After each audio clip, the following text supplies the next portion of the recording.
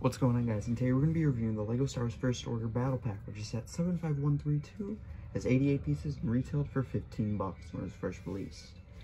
Um, yeah, so before we get into the main figures of the set, let's get into the little build you get. It is missing the other side of this piece, as you can see, but on that, it's 100% complete. I actually have two of these battle packs, which is nice. You can pull this out, put whatever you want in here. There is a control panel right there. Um, the side just looks like this. You can take this down. There's two studs right there.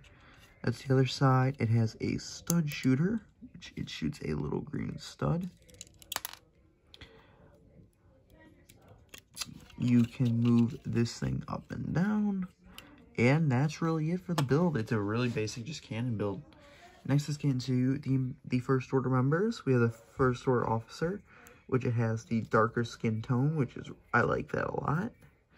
Um, basic Empire, um, torso print, no leg printing, and a nice hat print, which is really, really, really nice.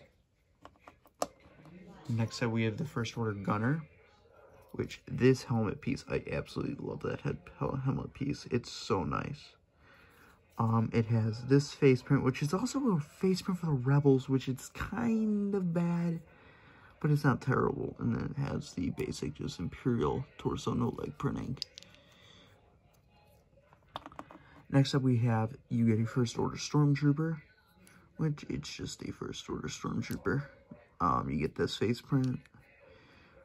Um, yeah, this is, it's just the First Order Stormtrooper print and everything.